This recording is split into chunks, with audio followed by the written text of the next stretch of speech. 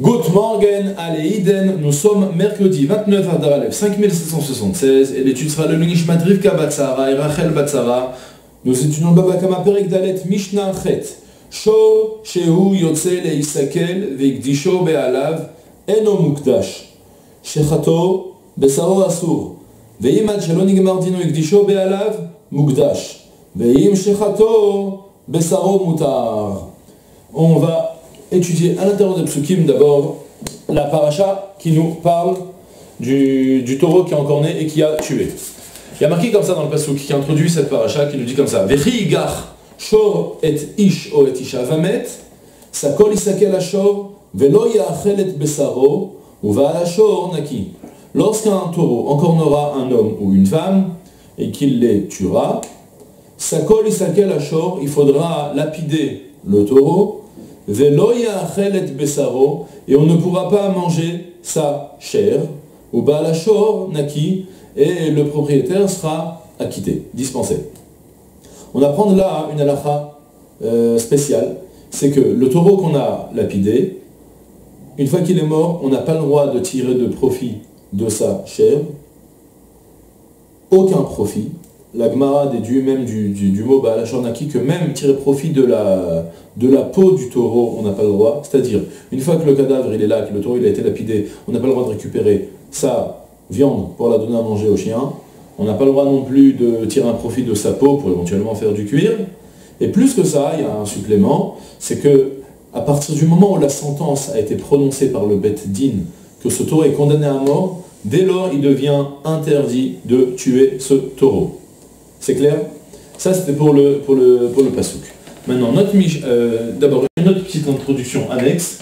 De manière générale, dans toute la Torah, tout, objet qui m'appartient, mais que la Torah m'interdit d'en tirer un quelconque profit, d'aucune manière, alors peut-être qu'il s'appelle encore à moi l'objet, mais c'est uniquement pour, euh, pour le titre, mais j'ai concrètement aucune, aucun droit sur l'objet pour pouvoir le céder à quelqu'un d'autre.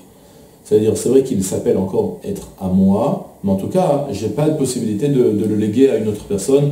Par exemple, concrètement, puisqu'on parle du taureau qu'on va tuer, à partir du moment où le Bet Din prononce la condamnation à mort du, taureau, dès lors, même s'il m'appartient, le taureau en théorie, ouais, parce que il m'appartient toujours, malgré tout, je ne peux plus le léguer à quelqu'un d'autre.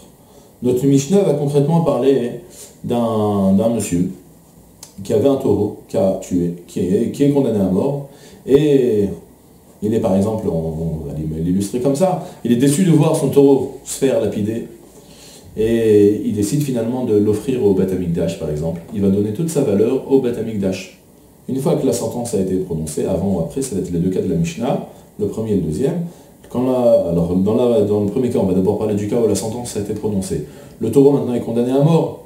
Il dit, tu sais quoi, je l'offre au Beth Amikdash. Alors, puisque il n'avait plus, le taureau, dès la, sentence du Beddin, le taureau ne peut plus en tirer profit, il n'a plus non plus la capacité de le léguer à quelqu'un d'autre. C'est ce que la Mishnah nous dit.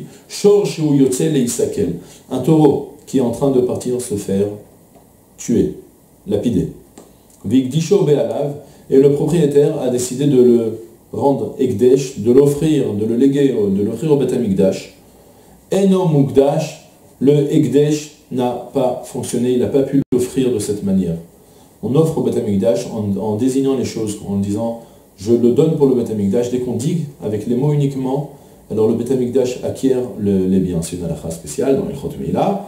Et là, concrètement, puisqu'il ne lui appartient plus, donc il peut plus, puisqu'il n'a plus le droit d'en tirer profit, il ne peut plus le léguer au Beth De la même manière aussi, Shechato, Besaro Asur, il avait amené son petit couteau de Shrita au Beddin, et il s'est dit, ah, si jamais il le condamne à mort, je le tue vite fait, je lui fais la shrita et je le récupère pour moi.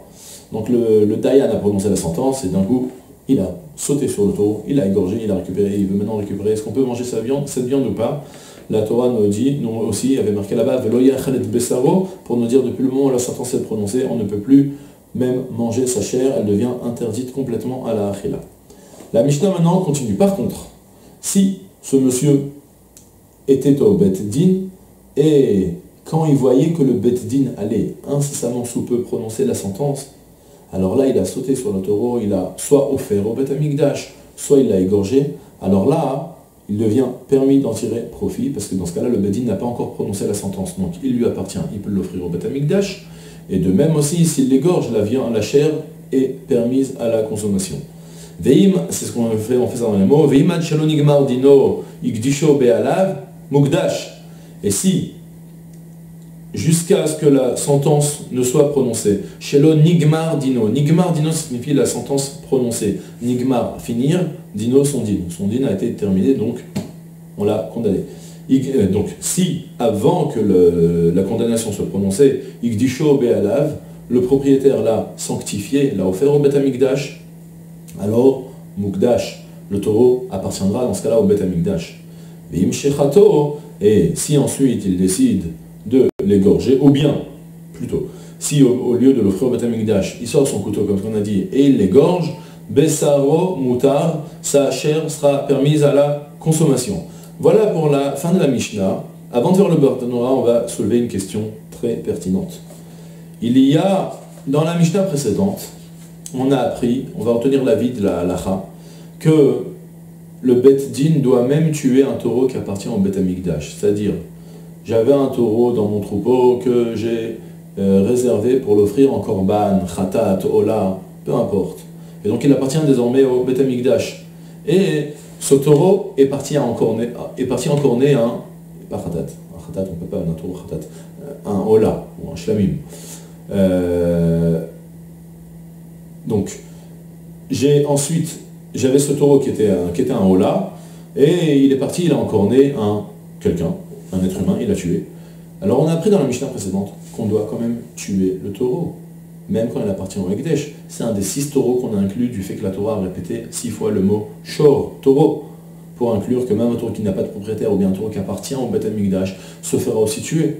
D'où la question, à quoi ça sert que la Mishnah, maintenant la nouvelle Mishnah, Chet, m'enseigne que avant la sentence, si avant la sentence du Bet Din, j'ai sanctifié mon taureau, mon taureau est devenu Kadosh, et alors? Puisque de toute façon, ça ne change rien pour le Bet Din, que le, Dayan, le juge, pourra malgré tout prononcer l'ascendance. D'accord? Tu veux, tu veux pas qu'on tue ton taureau, alors on va tuer le taureau qui appartient au Egdesh. Qu'est-ce que ça peut nous faire? Quoi, pour, quel halakha quel, quel est l'intérêt de mentionner que le, taureau il est Kadosh? Vous allez peut-être me dire que cette Mishnah fonctionne d'après Rabbi Yoda. Qu'on avait vu que Rabbi Yoda a discuté et disait qu'un taureau qui appartient au Egdesh, qu'on ne condamne pas à mort. C'est une solution, mais c'est pas tellement pratique. On n'aime pas dire que la Mishnah parle selon un avis, surtout qu'un avis qui n'est pas, pas à la Donc en fait, il y a une solution beaucoup plus intéressante qui est en fait rapportée en quelques mots dans, dans Bartanora. Bartanora ne fait pas ni question ni réponse, il dit directement la, la solution, c'est fréquent comme euh, style de texte. On apporte des réponses qu'à celui qui s'est posé des questions, celui qui ne s'est pas posé de questions, il n'a pas fait attention que ça venait répondre à un problème.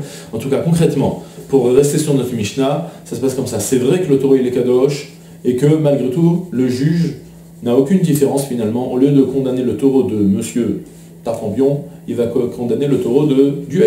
Qu'est-ce que ça peut lui faire au juge? Mais il y a quand même une différence. La Mishnah nous enseigne que malgré tout, le taureau il est devenu Kadosh. Si après qu'on ait, ait rendu le taureau Kadosh, qu'on a sanctifié ce taureau, donc qui appartient au Betamikdash, quelqu'un vient et tire un profit de ce taureau, alors il transgressera l'interdit de Meïla.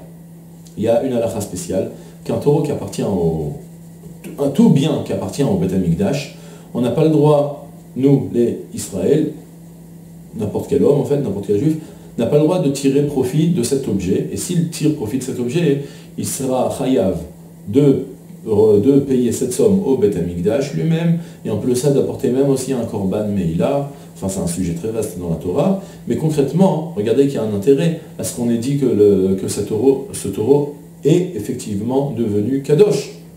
Même si concrètement, d'ici 5 minutes, on prononcera quand même sa sentence. Mais si quelqu'un tire un profit dans ces 5 minutes, euh, eh ben, il devra quand même apporter un korban meila et payer aussi la valeur du taureau au Bet C'est ce que Bartanora, on va le faire immédiatement. D'abord, on fait le premier Bartanora, c'est très court. Veim Shrato Asur.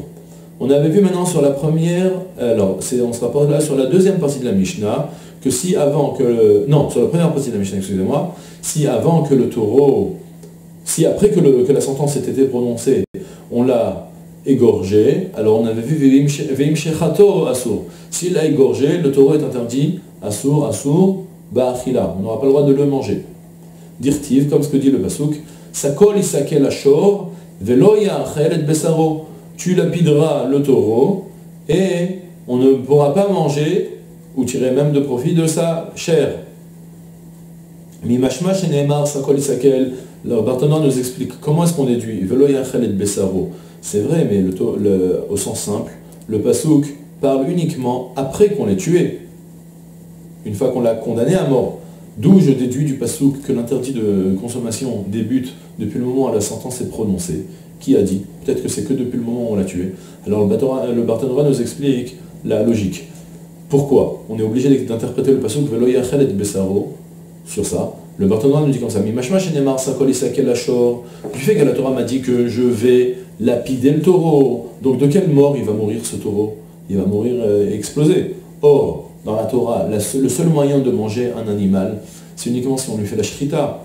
Donc, de ce fait, quand je lapide un taureau, c'est évident que j'ai pas le droit de le manger.